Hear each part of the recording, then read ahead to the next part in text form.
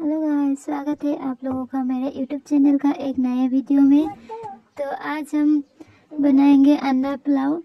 और अंडा पुलाव बनाने के लिए हम पहले अंडा को फ्राई कर लेंगे। और अंडा फ्राई करते करते मैं बता देती हूँ, हमने अंडा पुलाव बनाने के लिए ग्रीन मटर कैबेज प्याज और कच्चा वाला मरीच और लौंग, इलायची, दालचीनी, तेज का पत्ता और दस से पंद्रह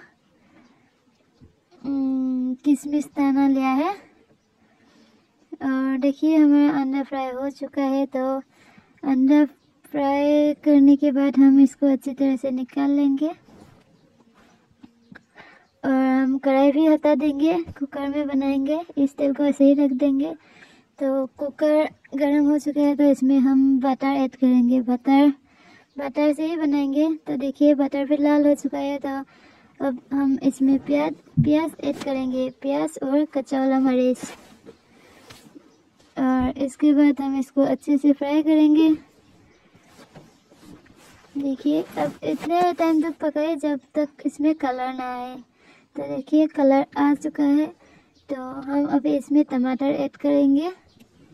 और टमाटर को भी थोड़ा टाइम फ्राई करेंगे। जब तक ये थोड़ा थोड़ा पकने ना लगे। थोड़ा थोड़ा पकने के बाद हम इसमें मसाला और अलग सब्ज़ी ऐड करेंगे। हमने इसमें थोड़ा सा जीरा का दाना भी ऐड किया है और कच्चा वाला तेज पत्ता आप पके वाला भी ऐड कर सकते हो।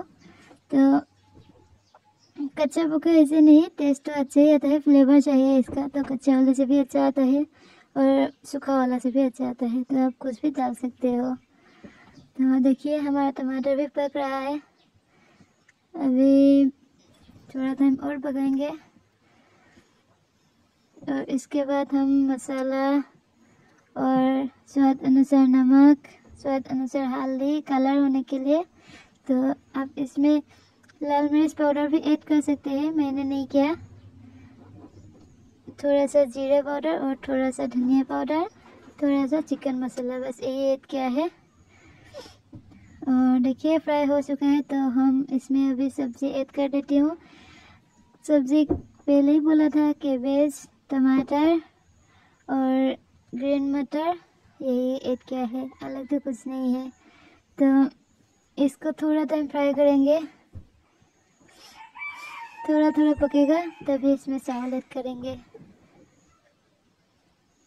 तो थोड़ा ऐसे थोड़ा टाइम बाद बाद में इसको हिलाते रहिए, नहीं तो ये नीचे से लगने लग जाएगा। नीचे लग जाएगा तो टेस्ट अच्छा नहीं आएगा तो ध्यान रखिए।